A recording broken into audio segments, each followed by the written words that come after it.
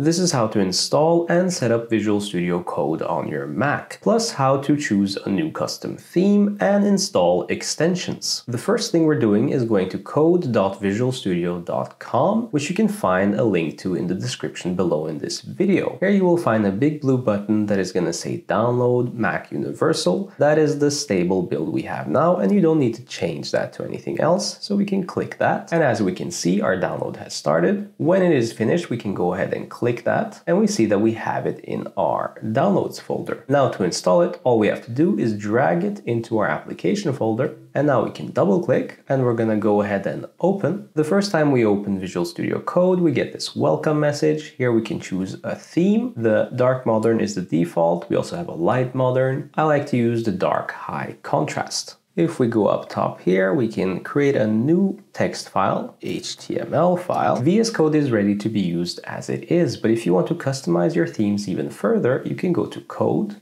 Settings, Theme, choose Color Theme, and here, if you scroll with the up and down arrows, you can see that you have a bunch of different themes uh, to choose from to truly customize your own experience. As for extensions, you can click this tab here the extension tab and here we can see popular extensions that uh, the community is using. I would highly recommend Live Server. It allows you to run your files with live reload so you don't have to reload the page every time you make changes in your code. Every time you save, it actually updates the browser that you are working in. The only thing you need to do to enable it is click the install button and as we can see we have now this go live button down below. Now we can also see that under the install tab we have live server. The next extension I would highly recommend is Prettier Code Formatter which formats your code in a uniform and sleek way so you don't have to worry about how many tabs you put where. You can just let Prettier do all that laborious work for you. If you would like a full breakdown on these and many more cool extensions in VS Code code, I have a separate video on that, which you can see here. Until next time, see you.